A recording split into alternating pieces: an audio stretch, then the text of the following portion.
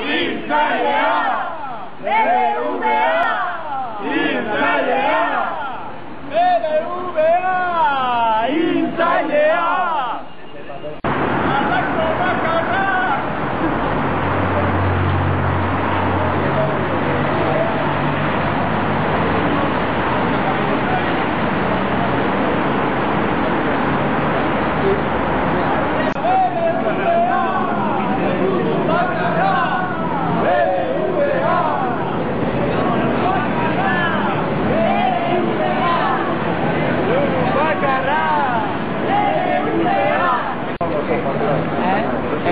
Italia.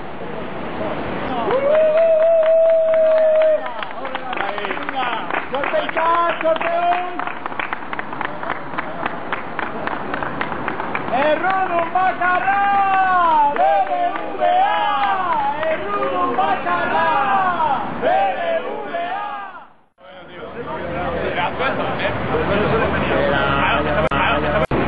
personas de la plataforma contra el BBVA echamos cintura sobre nuestro cuerpo denunciando los sangrantes beneficios del BBVA coincidiendo con la Junta de Accionistas de este banco. ¿no? Lo que queríamos era denunciar, como decía, los sangrantes beneficios. El BBVA es responsable de los desahucios que se están produciendo estos días, es además eh, invierte y financia eh, proyectos que tienen un impacto medioambiental y social eh, pues eh, muy grande y además y además es, eh, financia e invierte en, industria armamentística y militar. Por todo ello decimos que el BBVA está eh, pues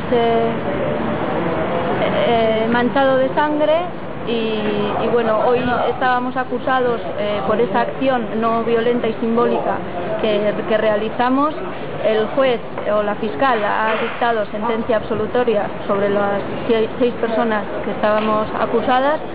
Y, y bueno, nosotras seguiremos eh, denunciando al BBVA, eh, como decía, por estos sangrantes beneficios hasta que realmente los verdaderos responsables sean los que se sienten en, en el banquillo de los acusados.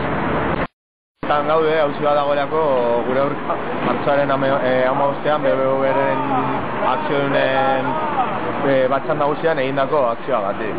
E, bide batez, esan beharra dugu protesta horretan, e, pintura gorriz estali genituela geure burua e, plataformako zeikideok.